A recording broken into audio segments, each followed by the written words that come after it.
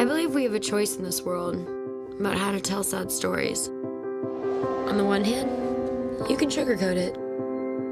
And nothing is too messed up that can't be fixed with a Peter Gabriel song. I like that version as much as the next girl does. It's just not the truth. This is the truth. Hey, make some friends. Sorry. My bad. I'm Augustus Waters. I've been in remission for about a year and a half. Maybe you'd like to share some of your fears with the group. My fears. Oblivion. What's your name? Hazel. What's your full name? Hazel Grace Lancaster. Why are you staring at me? Because you're beautiful.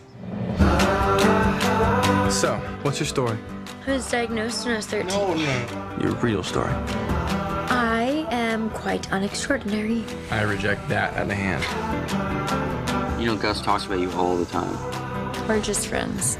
I hope you realize you're trying to keep your distance from me in no way lessens my affection for you. Gus, I'm a grenade.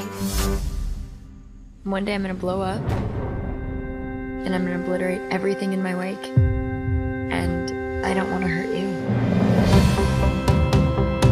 You don't get to choose if you get hurt in this world, but you do have a say in who hurts you. I am in love with you, Hazel Grace. And I know that love is just a shout into the void and that oblivion is inevitable. And I am in love with you. All your efforts to keep me from you are gonna fail.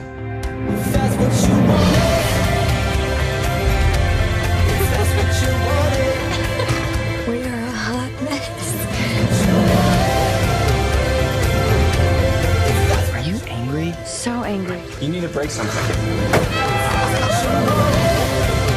You gave me a forever within the numbered days. And I can't tell you how thankful I am for our little infinity.